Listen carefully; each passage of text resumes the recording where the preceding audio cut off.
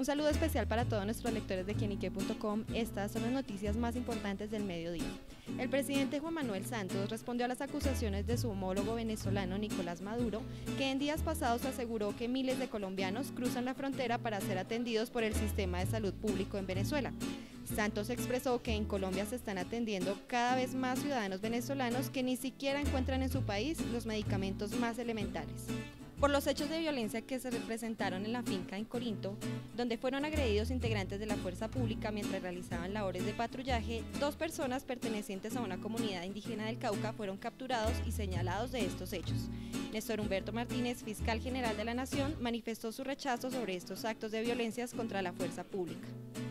Alejandro Olaya Dávila fue nombrado presidente de Conciencias en reemplazo de su jefe Óscar Ocampo, del que hasta ahora se desconoce la separación de su cargo, pero se rumora que hubo inconformidades con la presidencia en sus proyectos y resoluciones.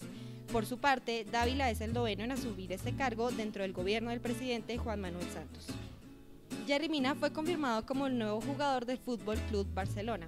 El defensor estará cinco temporadas y media con el equipo culé y será el primer colombiano en vestir la camiseta azulgrana de forma oficial.